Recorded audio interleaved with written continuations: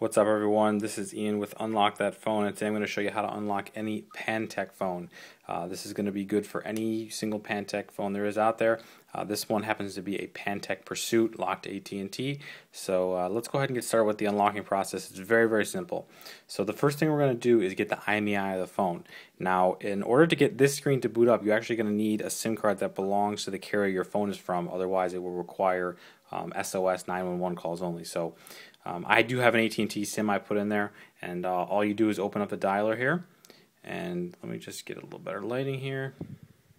You're just going to dial star pound zero six pound. And when you do that, you're going to get a screen here that's got your IMEI. It's a 15 digit number unique to every single phone.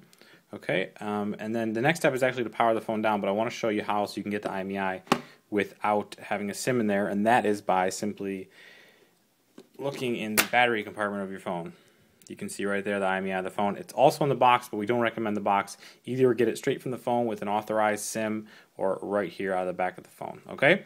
So once you have that number, you head on over to unlockthatphone.com. You got the three drop-down menus. The very first one, carrier the phone. In this particular case, is AT&T. Um, you know, it could be yours from whatever other carrier around the world.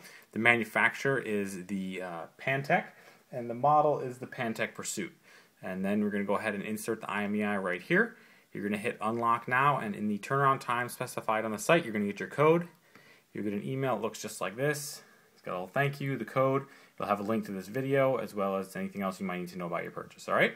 So once we have that, we're going to go back to our phone, and we're going to boot it up with a SIM card that doesn't belong to the carrier the phone is from. So in this case, I have a T-Mobile USA SIM.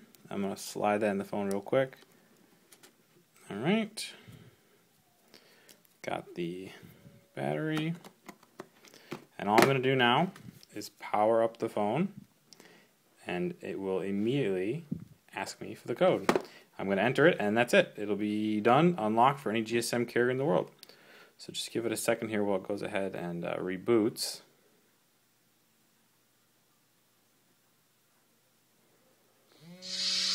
There we go.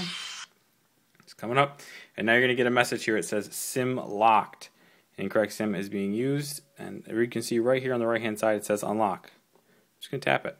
It's going to give you a note about entering the unlock code. You're about to enter have 10 times. You're going to continue. I'm going to hit yes. And then very simply, I'm going to enter the code I was given. So uh, let's go ahead here. 8101 8101 and then 3380. 3380. And then I'm going to hit OK. It's going to ask me to re-enter it. So I do 8101 3380. 3380. Hit OK. Your phone is unlocked. I hit yes. Do you want to start touch calibration? No, that's just for the touchscreen. So let's just give it a second here. You'll see it's going to pick up T-Mobile USA. And there it is on the top left-hand corner here. We got T-Mobile running on the AT&T Pantech. So just quick review, guys. You're going to power up your phone with a SIM card that belongs to the to the carrier of the phone. You're going to dial star pound zero six pound, and you'll get the IMEI. Or again, you can check it. It is also in here, the battery compartment right in there out of focus and now it's in focus.